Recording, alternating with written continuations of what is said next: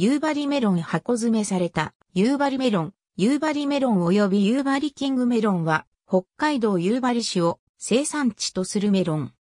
品種名は夕張キングメロンであり、夕張メロンは商標名である。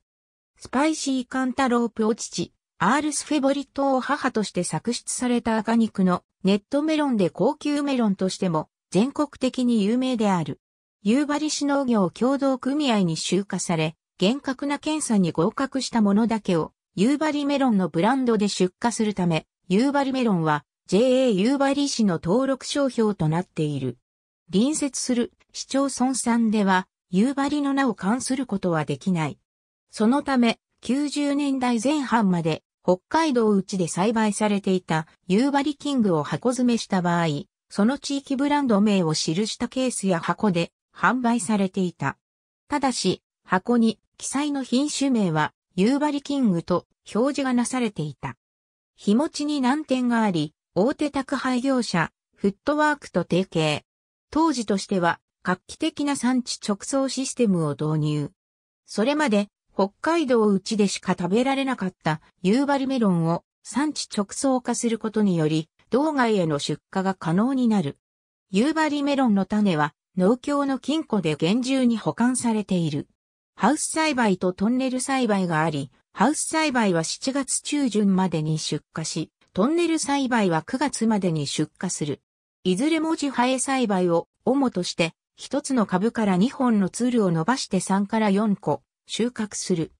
受粉は蜜蜂によって行われ、受粉からの日数は40から46日くらいである。しかしながら、条件によってはその日数も異なり、気温が高い時の方が収穫は早まって糖度も落ちる傾向にある。札幌キング、キング系と呼ばれている赤肉メロンも夕張メロンとほぼ同じ掛け合わせで交配されている。一方、ルピアレッドに代表されるレッド系と呼ばれるものは食感と糖度が違う別の品種である。